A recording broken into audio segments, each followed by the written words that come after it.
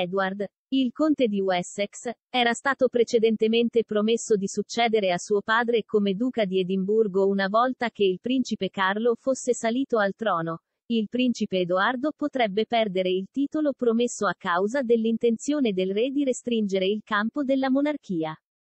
Si ritiene che la defunta regina abbia concordato con il figlio maggiore che il conte di Wessex sarebbe succeduto come nuovo duca di Edimburgo una volta che Carlo fosse diventato re.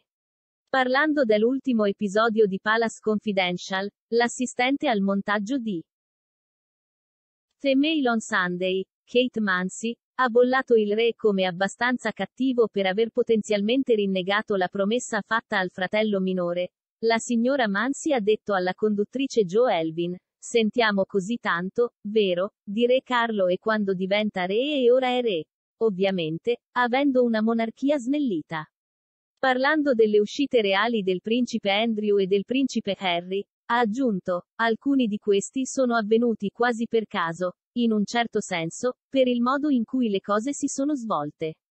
Quindi sembra piuttosto meschino non fare di Edward un duca di Edimburgo.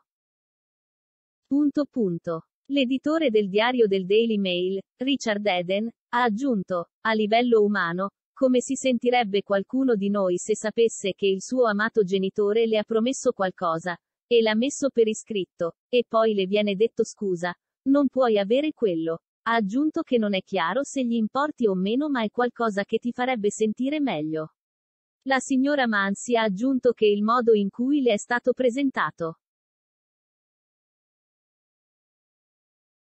Mostra che è stato notato dal conte e dalla contessa di Wessex, ma hanno deciso di non parlare. Ha aggiunto, sono troppo aggraziati per dire qualcosa, ovviamente pubblicamente o forse anche in privato, ma penso che sia un affronto. Al principe Edoardo è stato concesso il titolo di conte di Wessex al suo matrimonio nel 1999, con sua moglie Sophie conosciuta come la contessa di Wessex.